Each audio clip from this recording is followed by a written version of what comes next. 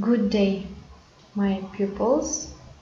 Today we are going to start our second lesson.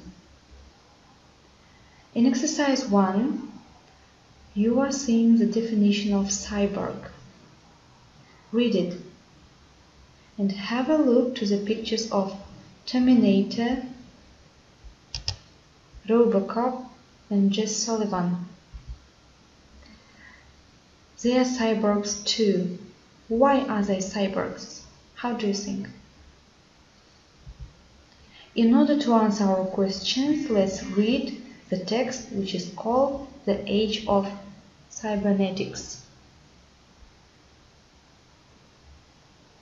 Now, for understanding this text better, I advise you to do your first task. In this task, you have to choose the right variant A, B, C or D.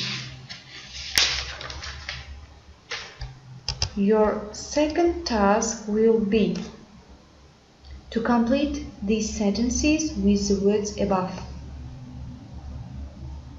And your next third task will be to make up phrases using these words artificial, false and fake.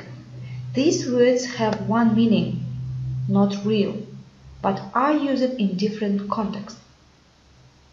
So please find and do this exercise.